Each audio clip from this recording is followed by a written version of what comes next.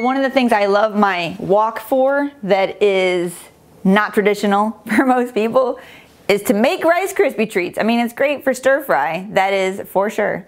But it's also fun for some other things, like if you're making fudge or you're making Rice Krispie treats. I think it's just the shape, because it's like having a big, huge, heated bowl. So it's really easy to mix stuff. So I'm gonna show you that today. I hope you like it.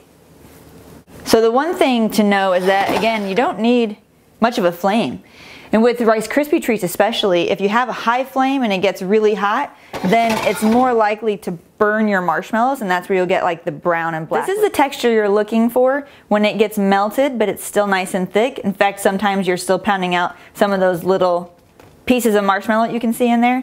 This is just about perfect to add the Rice Krispie treats because you want it to still be thick and gooey. One problem with having too high of heat or waiting too long to add the Rice Krispies is that this mixture will get really thin. And I don't know if you've ever had a Rice Krispie treat before that was sort of hard.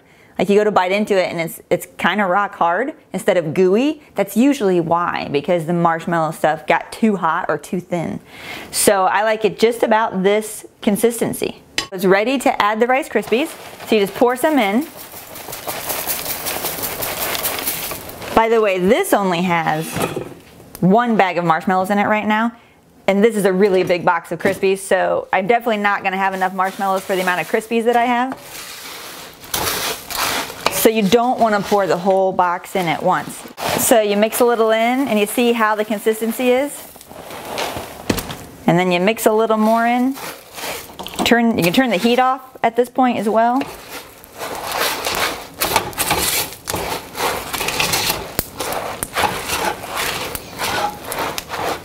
Pretty close. We can probably add a little bit more Rice Krispies, but we like them gooey around here, so we tend to leave it on the gooey side.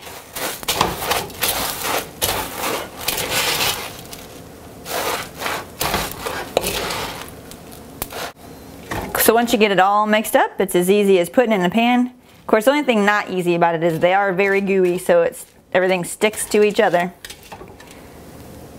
So you just do your best with getting it in the pan. It's okay if you get it on your fingers because you get to eat that off of there. So it doesn't have to be perfect. Like I'm not gonna take the time to smash it down perfectly flat because it's too gooey for that.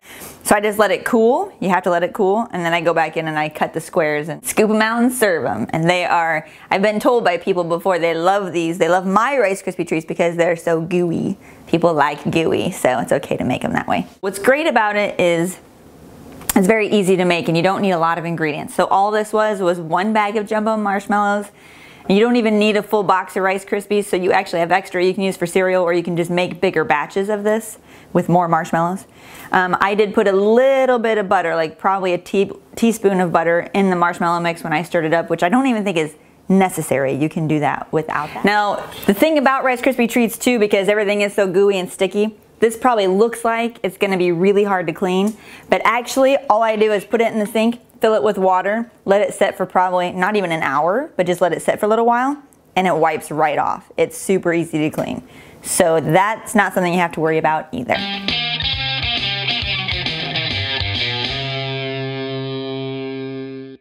What? It's okay if you get some.